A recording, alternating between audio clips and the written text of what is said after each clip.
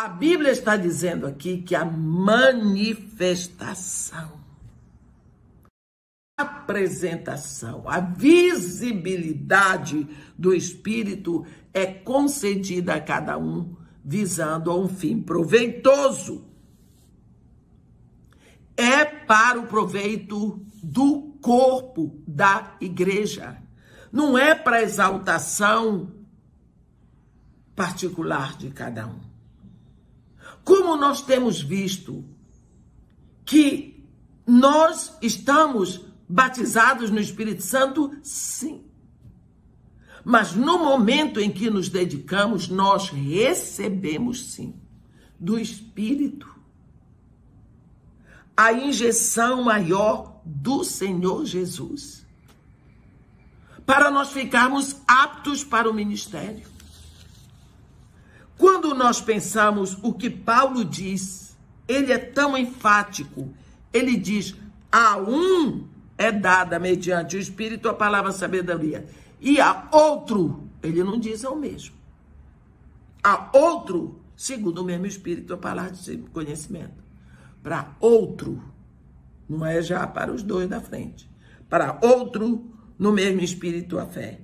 E a outro, outro, dons de curar. A outro, operações de milagres. A outro, profecia. A outro, discernimento de espíritos. A um, variedade de línguas, e a outro, capacidade de inter interpretá-las. Mas Paulo aqui, ele diz, mas um só, e o mesmo Espírito realiza todas, distribuindo-as.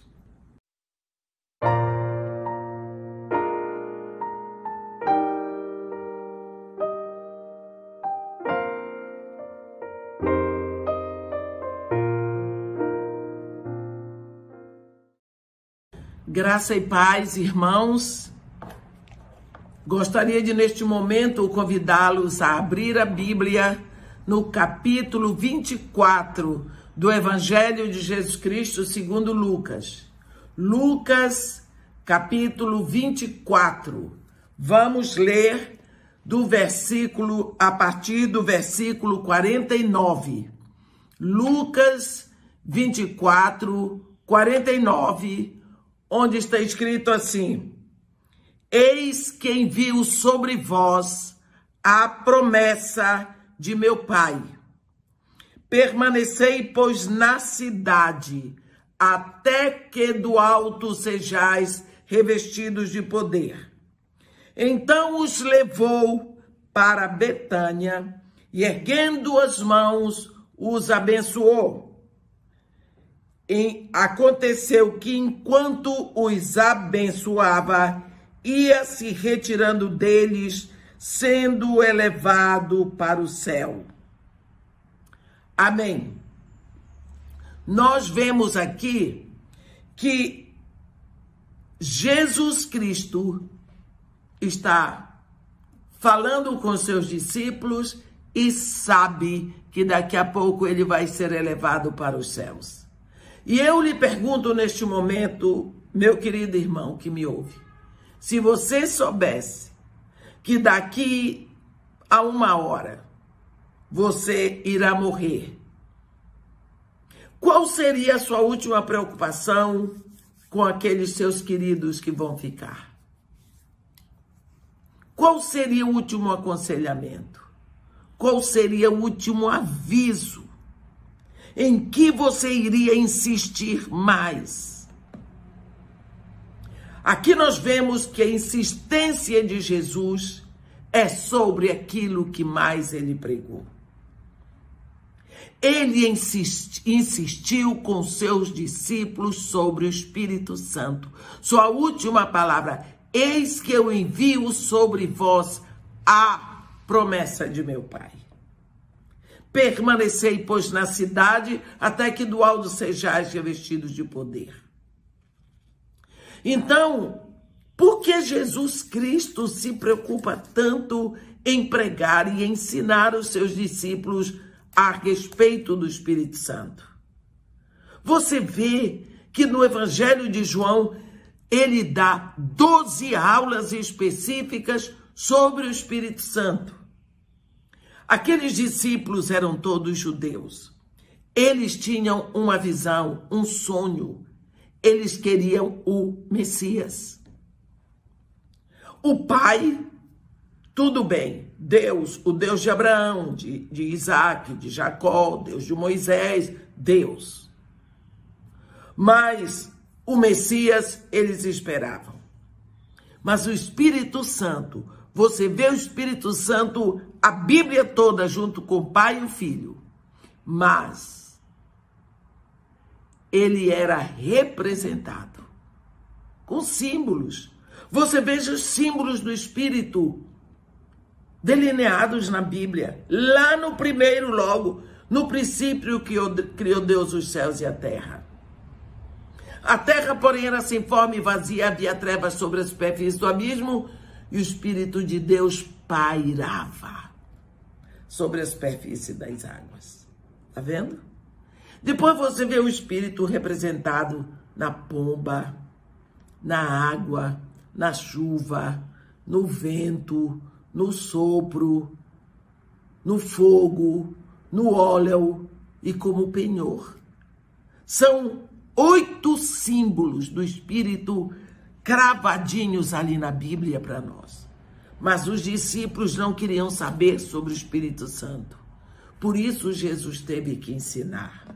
E ensinar muito. Por quê? Porque quando houve o primeiro pecado nos céus, os anjos caíram, Deus não moveu um dedo para resgatar ou para redimir os anjos. Mas na hora que o homem caiu lá no Éden, houve o pecado, nós vemos imediatamente a ação de Deus, nosso Pai. Ele abriu a boca, ele publicou imediatamente: Eu porei inimizade entre a tua descendência e a descendência dele. Ele te ferirá o calcanhar, mas mulher, o teu descendente lhe esmagará a cabeça. Naquela hora, Deus publicou o seu plano de redenção. Deus, o Pai, planejou a redenção do homem. Mas dentro dos planos dele, ou dentro do plano dele, entrava o filho que iria fazer a redenção e o espírito que iria aplicar a redenção ao homem. É dessa forma que nós somos redimidos. Então, o povo não queria saber. Quando nós vemos Jesus Cristo vem, faz a redenção. Mas e agora? Se você comprar um carro, pode ser o carro mais caro que for. Você paga tudo, paga até o seguro, deixa lá na concessionária, nunca vai buscar, nunca vai usar o carro. O carro vai envelhecer ali sem uso. Não prestou para nada. Jesus Cristo veio aqui, pagou totalmente, cabalmente a nossa redenção. Ele comprou. O preço foi caríssimo, o mais caro que pode imaginar. E foi. Mas vem o Espírito para tomar essa redenção e aplicar a cada um de nós. Você sabe que o selo é o último, é a última etapa de uma transação de compra. Você vai à Caixa Econômica e você vai comprar um imóvel e você paga durante 20 anos. Aquele imóvel todo mês, todo mês. Depois dos 20 anos, você vai lá e diz: está concluído, você acabou de pagar, está tudo pago. O imóvel é seu? Não. Mas está tudo pago. Mas você não pode provar que o imóvel é seu. Eles lhe dão um papel de quitação. Com esse papel você vai ao cartório de imóveis e você vai deixar lá. Quando o tabelião carimbar o documento com o selo do cartório de imóveis, então tá tudo pronto então o imóvel é seu, porque está selado com o carimbo do cartório de imóveis. O que acontece com a nossa salvação é que está tudo pago lá na cruz. Mas o Espírito Santo vem como selo, como a parte final que corrobora a compra. É é o trabalho do Espírito Santo. Ele é o selo. Por isso que a Bíblia diz para nós lá em Efésios 1, em quem também vós, tendo ouvido a palavra da verdade, o evangelho da vossa salvação, for, tendo nele também crido, fostes selados, selados com o Espírito Santo da promessa. Ele é o penhor da nossa salvação.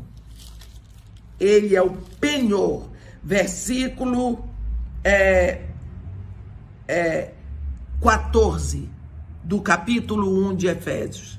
Ele é o penhor da nossa herança até ao resgate da sua propriedade em louvor da sua glória. Assim, o Espírito Santo vem como penhor, ele vem como selo. Nós somos selados, nós somos comprados, nós somos donos. E o quem nos diz isso, quem comprova isso, é a presença do Espírito Santo em nossas vidas. Por isso que Jesus sabendo que a sua igreja iria aqui na terra, teria que se voltar para o Espírito Santo, receber do Espírito Santo, estar cheia do Espírito Santo. Ele ensinou muito sobre o Espírito Santo. Os discípulos, eles tinham a palavra, mas não tinham o Espírito. Você vê que três anos e meio na escola de Jesus, aqueles discípulos aprenderam demais, eles tinham toda a palavra. Eles eram o depósito do ensino de Jesus Cristo. Mas quando Jesus Cristo os abençoava, como nós vimos lá em Betânia, Aconteceu que enquanto os abençoava, ia se retirando deles, sendo elevado para o céu. Então eles, adorando-o, voltaram para Jerusalém, tomados de grande júbilo, e estavam sempre no templo, louvando a Deus. O que foi que aconteceu com esses discípulos? Desceram, mas a situação agora é diferente. Jesus Cristo é elevado para os céus.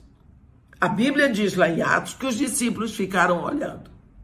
Eles nunca tinham ouvido aquilo, visto aquilo. Nunca. Eles ficaram olhando. Foi preciso que viessem dois anjos e fizessem o seguinte discurso: varões galileus, por que estás aí a contemplar as nuvens ou as alturas? Este mesmo Jesus que dentre vós foi tirado voltará, assim como o viste subir. Eles acordaram da situação, mas eles descobriram uma coisa não tinham mais a presença física de Jesus. Desde que eles foram chamados ali por Jesus, eles tinham a presença física de Jesus. Agora desapareceu. Eles sabiam que o assunto era sério. Só que eles não tinham a presença física de Jesus, mas ainda não tinham o Espírito Santo. E agora? E agora, como é que é? eles desceram e foram ficar num lugar, todos juntos. E eles tinham medo. Medo dos judeus, porque havia uma perseguição contra os seguidores de Jesus já instalada, desde antes de Jesus ir na cruz. Agora a coisa piorou. Eles tinham a palavra, mas eles não tinham o poder. O poder ainda não tinha vindo. Jesus Cristo diz: recebereis poder quando vier sobre vós o Espírito Santo. Então sereis meus testemunhas em Jerusalém, em toda a Judéia e Samaria e até os confins da terra. Ora, cadê o poder? Não chegou. Eles foram se esconder e foram orar. Não é assim que todo discípulo faz? Quando está apertado, quando não sabe o que fazer, quando as coisas estão difíceis, ele vai orar, pois foi isso que eles foram fazer. Oraram o primeiro dia, o segundo, o terceiro, no décimo dia de oração. Coincidiu com o dia da festa de Pentecostes. É uma, é uma festa dos judeus, Pentecostes. E aí, nesse dia, o Espírito Santo vem. E a Bíblia diz que ele desceu sem fazer questão de ser é, de ser ignorado. A situação daqueles discípulos era como a situação daquelas virgens quando Jesus Cristo fala lá em Mateus 25 a parábola das dez virgens. Todas dez eram virgens, todas dez eram noivas, todas todas dez esperavam um noivo mas só cinco tinham o azeite suficiente, o azeite duradouro. Você vê que todas dez tinham a lâmpada. Todas dez virgens tinham a lâmpada. E o que é a lâmpada? A Bíblia diz no Salmo 119, versículo 105: Lâmpada para os meus pés e luz para o meu caminho é a tua palavra. Elas tinham a palavra, mas cadê o Espírito? Cadê o Espírito? Metade tinha o Espírito e continuamente. Mas essas outras cinco, elas não se preocupavam em manter a chama acesa. Então, nós vemos que faltava o óleo para manter a lâmpada. Não é? Porque a lâmpada iria apagar. A lâmpada é a palavra, o óleo é o espírito. Discípulos só com a palavra se esconderam quando desceram de lá do monte, pois não havia o poder quando vem o poder, como eu acabei de dizer, que é o Espírito Santo, eles abriram as portas e nunca mais se esconderam. A Bíblia diz que ouviu-se um som do céu como de um vento impetuoso que encheu toda a casa. Foram distribuídos entre eles línguas de fogo e cada um passou a falar em outra língua, segundo o Espírito os direcionava que falassem. Nós vemos que a igreja hoje está escondida na mistura com o mundo por falta de poder. Os discípulos, naquela hora que receberam poder, abriram as portas, nunca mais se esconderam. A Bíblia diz que eles botaram o mundo de cabeça para baixo. Se você observar, até o batismo de Jesus, não havia Jesus iniciado o seu ministério. Ele era o carpinteiro, filho do carpinteiro de Nazaré, de lá, o Galileu. Mas no batismo, quando ele sai da água, todo molhado, ele orou, os céus se abriram. O pai abre a boca e diz: Este é meu filho amado, em quem me compraz. O espírito se materializa em forma de uma pomba e vem sobre Jesus. Naquela hora, o Espírito Santo vem sobre o homem Jesus. E ali começa então o ministério. Ali começa o ministério de Jesus. Jesus, a palavra o verbo precisava do óleo. O óleo agora chegou. Foi assim na anunciação. Você se lembra como foi? A palavra veio ao ventre da Virgem.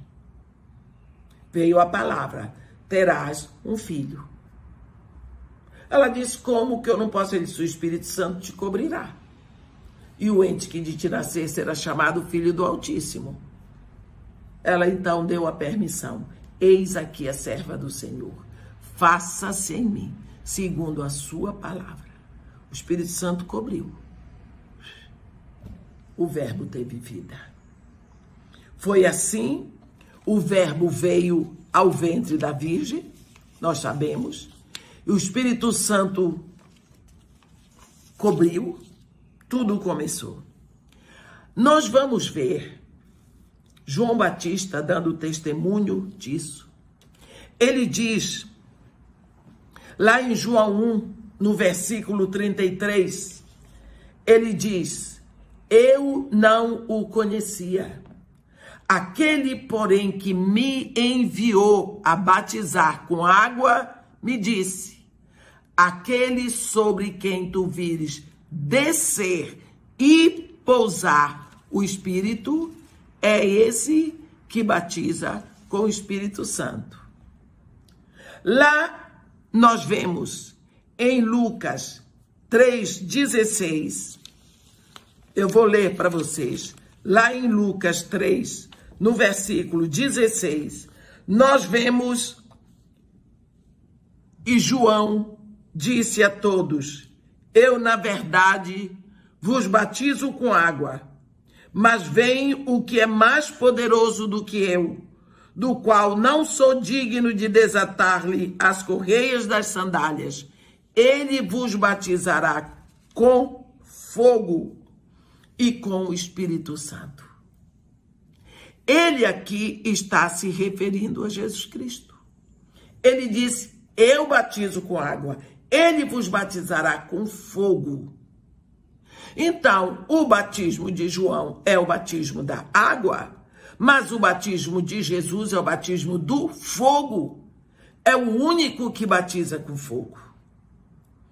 Esse batismo com fogo, ele é prenunciado ele é anunciado por Deus desde que Deus manda que Josué circuncide os filhos de Israel. Ele diz assim: Eu faço uma aliança contigo, Josué.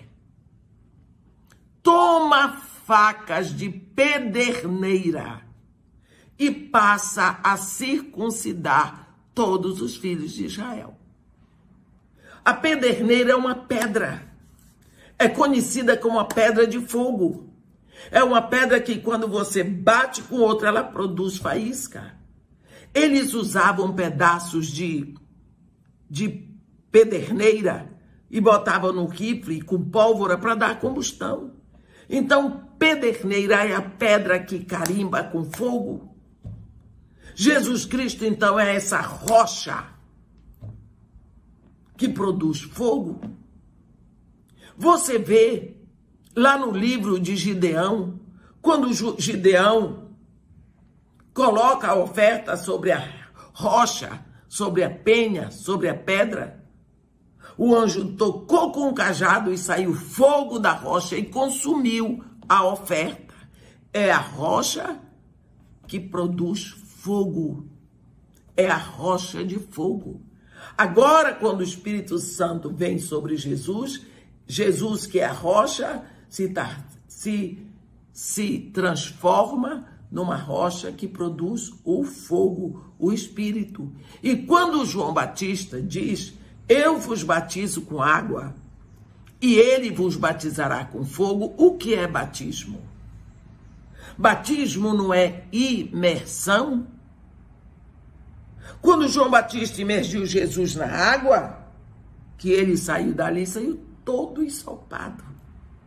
Você pode imaginar Jesus na beira do Jordão, orando todo ensopado, a água descendo, porque qualquer coisa que você tire da água, a água começa a jorrar para baixo, porque não há jeito de a água não vir para baixo. A água sempre aponta para baixo.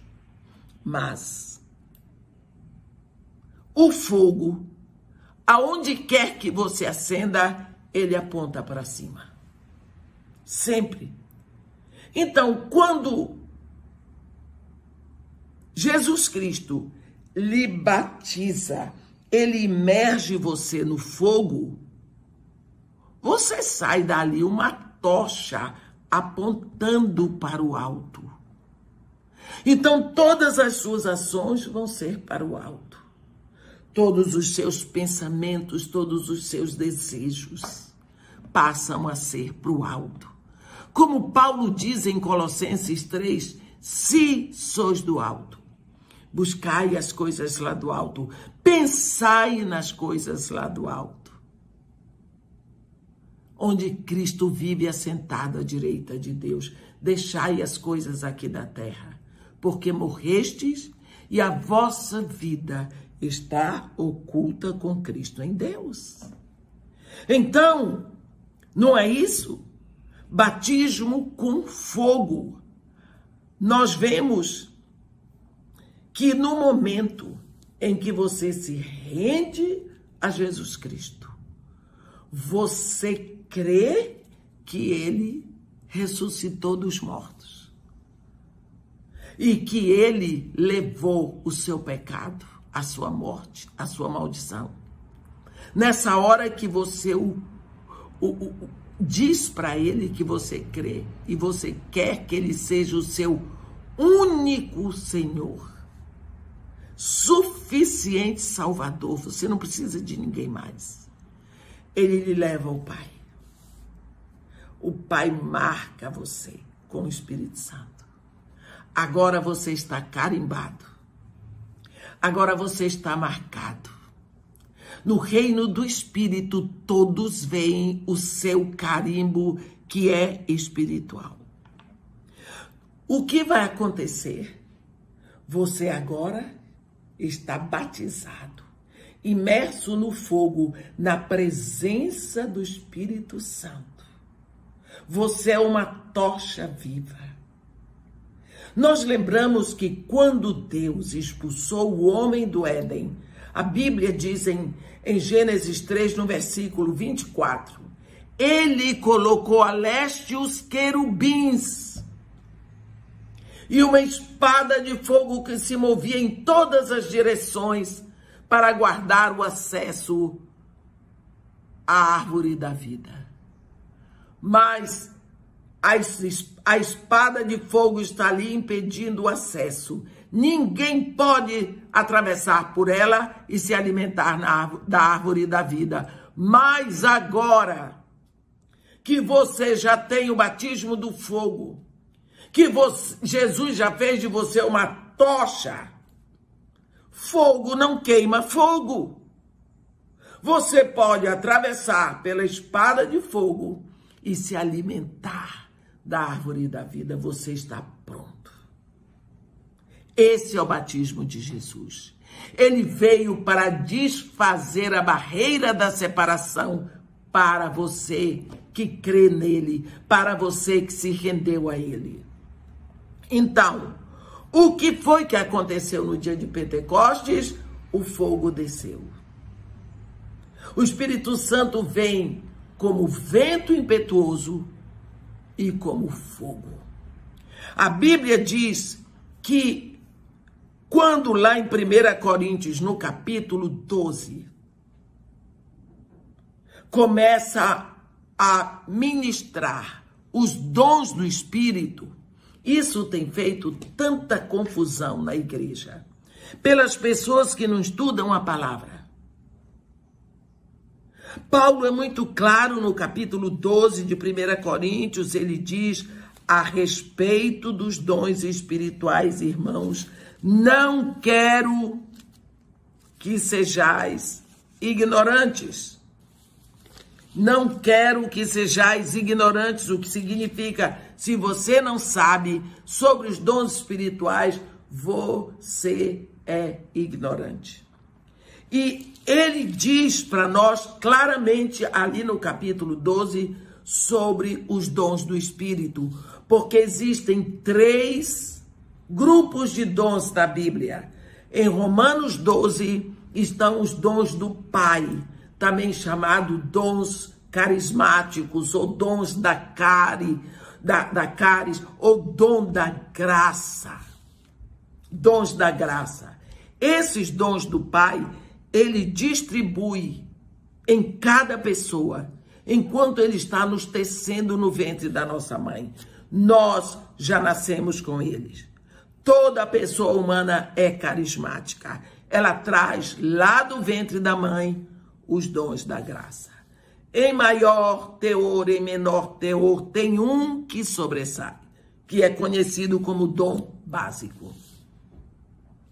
Mas tem o Espírito.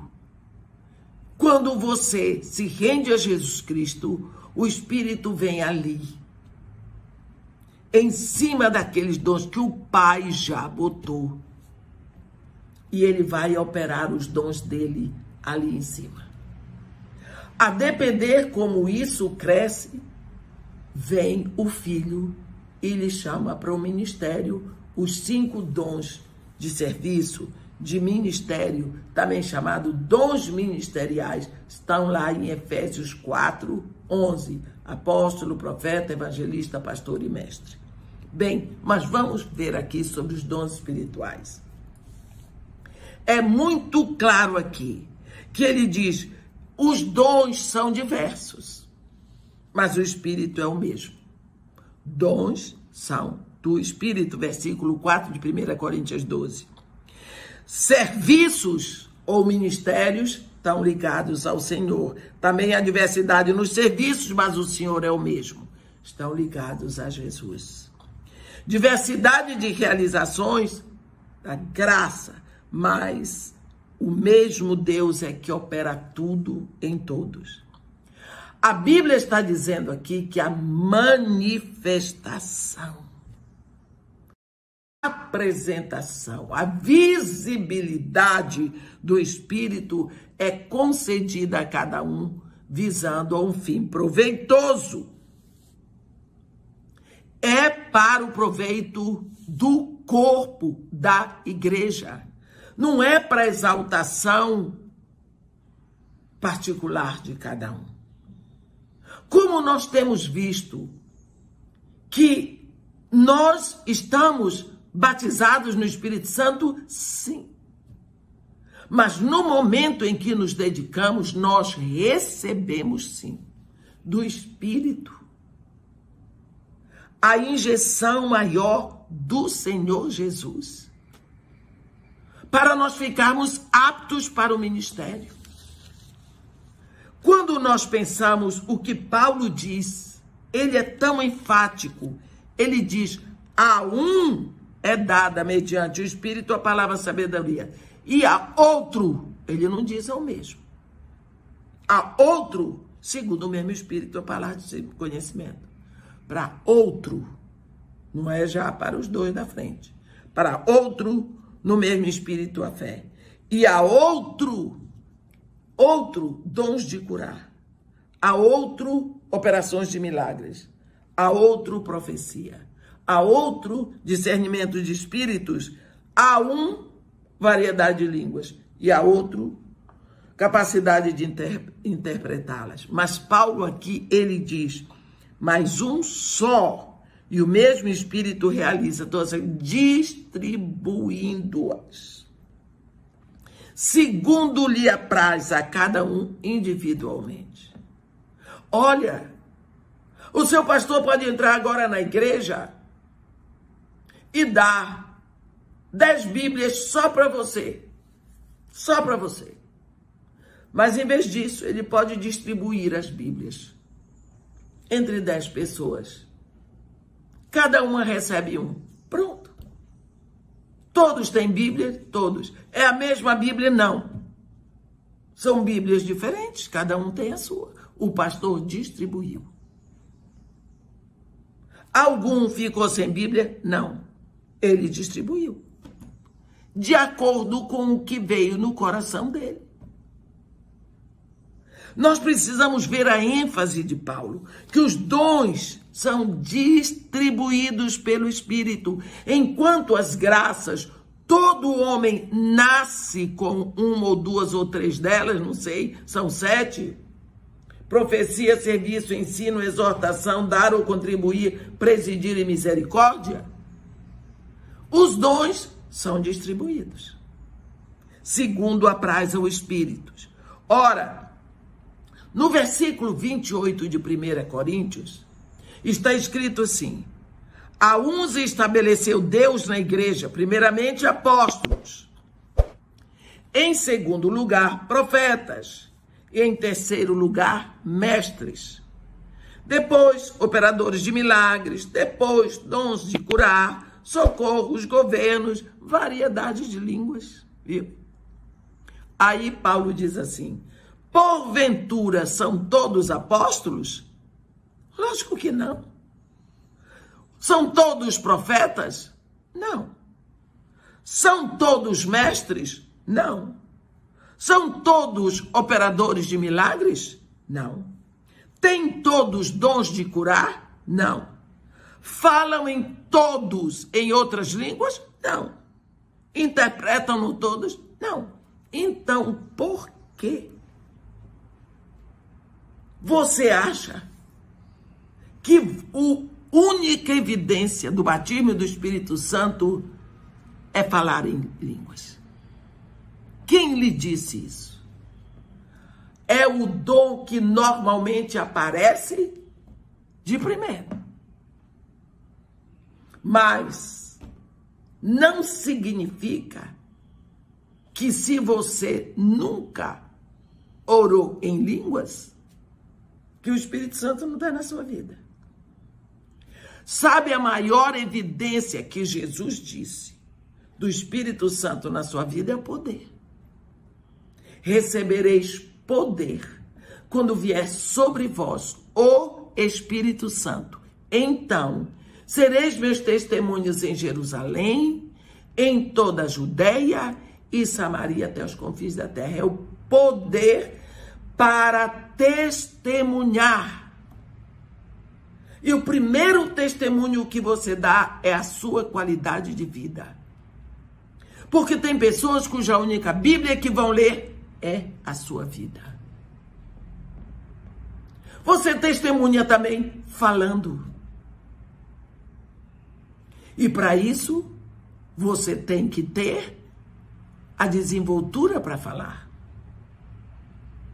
Se eu chego para você falando cantanês, a língua lá da China, ou mandarim, você não vai entender nada. Adiantou?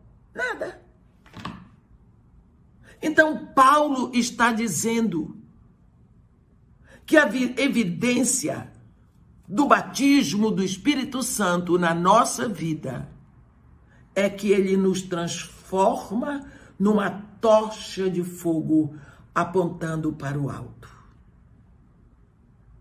E no momento em que você é espiritualmente uma tocha de fogo, você está queimando, você está ardendo por Cristo. Você é uma noiva incendiada por Cristo. Essa é a grande evidência do Espírito Santo, do, do batismo no Espírito Santo, porque você é imersa no fogo e quem lhe imergiu no fogo, quem lhe batizou foi Jesus. Então, quantas vezes nós achamos, será que o Espírito Santo está na minha vida? Ó, oh, eu vou dizer uma coisa para você.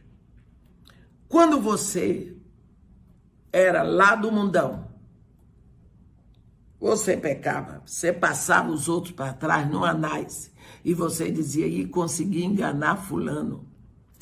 E me dei bem, levei a melhor. Eu sou joia. Como diz o carioca, eu sou esperto. Um homem era adúltero, casado, adulterava, passava a mulher dele como ele pensava para trás e tudo mais. Chegava em casa, a mulher não sabia de nada. Oh, meu querido, como vai? Ele dizia: Eu sou bom, eu sou bom. Eu consigo ter essa vida dupla assim, pegar a mulher lá fora, minha mulher em casa, tá tudo bem. Eu cuido bem da minha mulher, tá tudo bem. Um dia esse mesmo homem ouve a palavra da verdade, o evangelho da salvação. Crê no evangelho. Ah, ele se rende a Jesus Cristo, o Espírito Santo vem na vida dele. O Espírito Santo vem para cristianizar o dom que você já trouxe do berço. Agora esse Espírito está na vida dele. A próxima vez que ele for procurar mulheres na rua para atrair, ele ainda vai. Mas ele não vai ter o mesmo prazer. Ele vai sair dali se sentindo um lixo. Ele ainda pecou? Pecou. Mas ele agora tem consciência de pecado. Aquele prazer que ele tinha antes, viu que eu sou legal, eu sou é joia, eu sou machão. Né? Agora ele diz: Eu tô sujo. Isso tudo tá errado. Ele não tem paz. Sabe por quê? Porque lá dentro dele tem uma voz que o convence. Você agora é filho de Deus. Isso desagrada. Isso me entristece.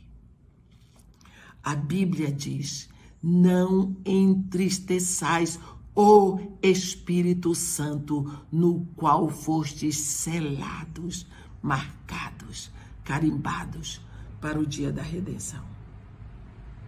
Viu?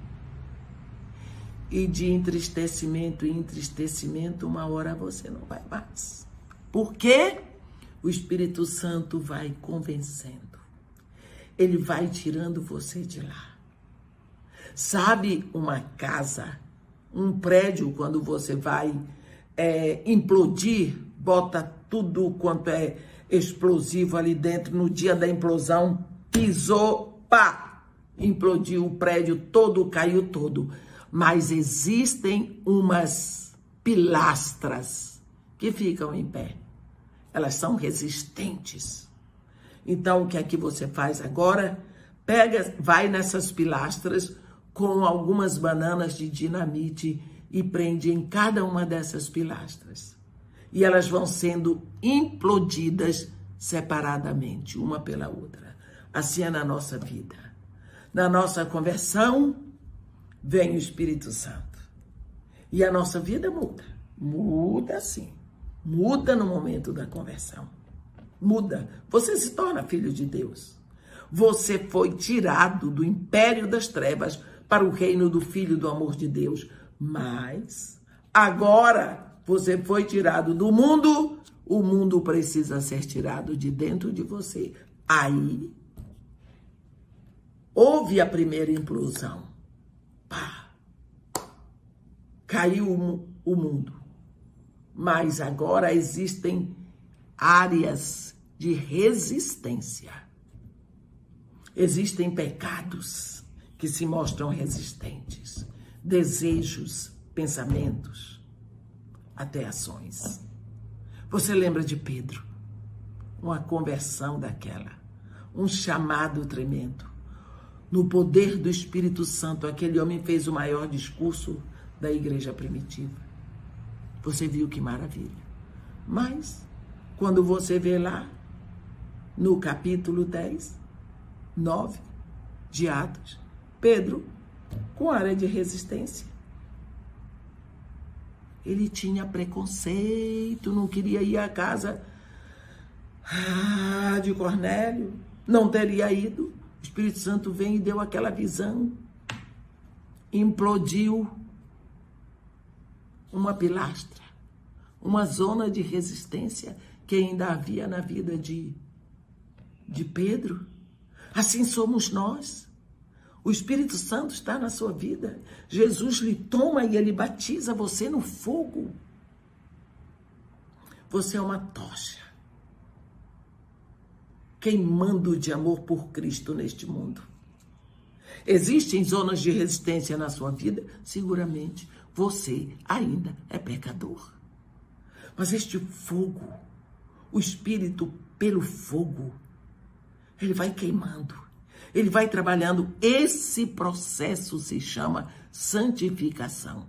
Ser salvo só dá trabalho para Jesus lá na cruz. Você pegou tudo pronto. Você não fez um esforço para ser salvo. Só se rendeu. Deitou no leito, no leito pronto, preparado, entrou na bênção. Você agora é filho de Deus. O que é que você fez? Jesus fez. Você é herdeiro do reino. O que você fez? Jesus fez. É tudo seu pelo mérito de Jesus. Mas a santificação é um processo. É você e o Espírito e você. Em cooperação. É você se rendendo a cada dia. É você bebendo desta água cristalina da palavra de Deus. E o Espírito vai caminhando você como paracletos ou paráclito, levando você, conduzindo você. Você vai no esforço, porque você é inteligente, se rendendo cada vez mais, e você vai sendo uma pessoa cada vez mais cheia do Espírito Santo. Quantas vezes a igreja hoje está indiferente ao trabalho do Espírito Santo. Por isso, nós estamos nesta síndrome de Laodiceia. Uma igreja balufa, uma noiva indiferente, a noiva que não sente nem falta do noivo, a noiva que não ouve a voz do noivo. Por quê? Porque nós desprezamos a presença do Espírito Santo. Meu irmão, minha irmã, para que nós tenhamos o Espírito Santo, Deus precisou rasgar o seu próprio filho lá na cruz. E nós simplesmente abandonamos esta situação. O meu pedido hoje para você é: desperte esta vida espiritual. Acorde deste sono. Busque o óleo em cima da palavra porque Deus quer acordar a sua igreja. O Espírito já veio. Nada de pedir, Senhor, envia o teu Espírito. O Espírito já está aqui no dia de Pentecostes, desde o dia de Pentecostes. E ele não está passeando na igreja, não, ele está dentro de cada um de nós. O Espírito não veio nos visitar, ele veio para ficar.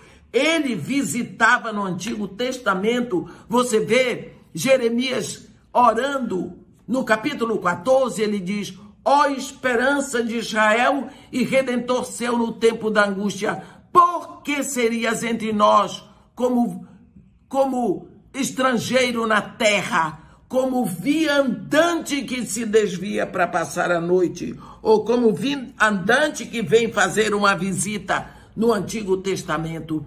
Mas desde que Jesus Cristo foi glorificado no céu, o Espírito desceu e desceu para ficar e só voltará quando ele levar a noiva e chegará lá dizendo: O Espírito e a noiva dizem: Vem.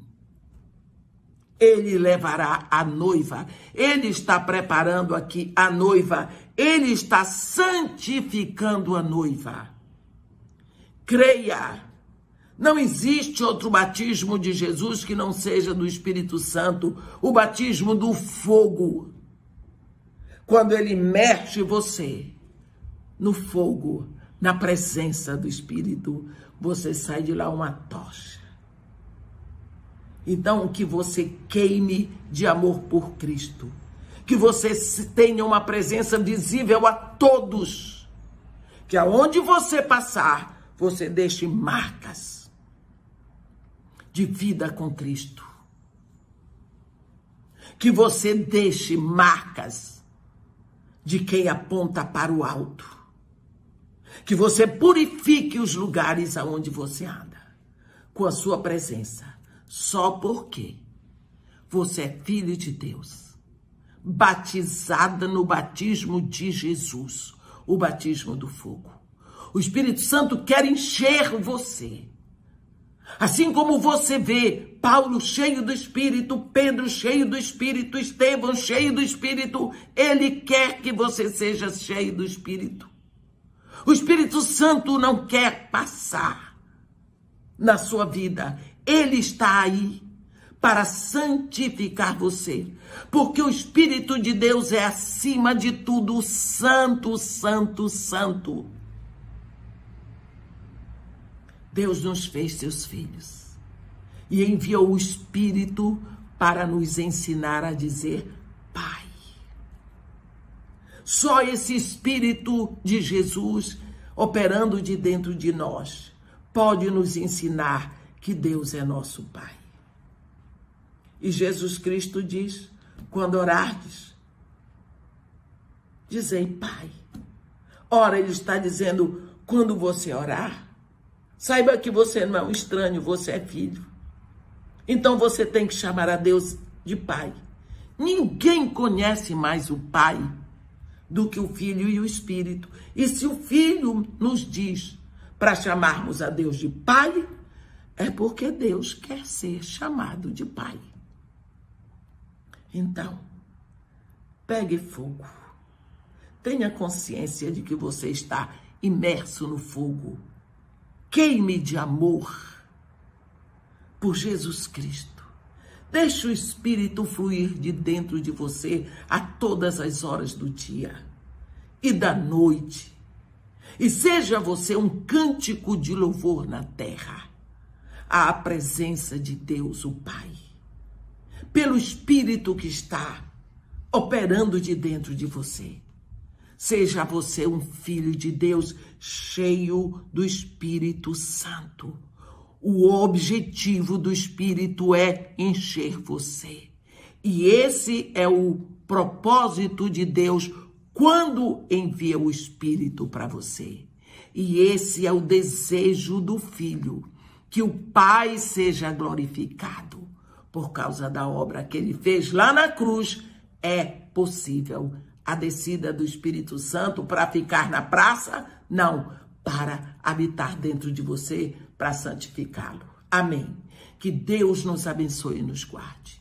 Que faça resplandecer o seu rosto sobre nós e tenha misericórdia de todos nós. Amém.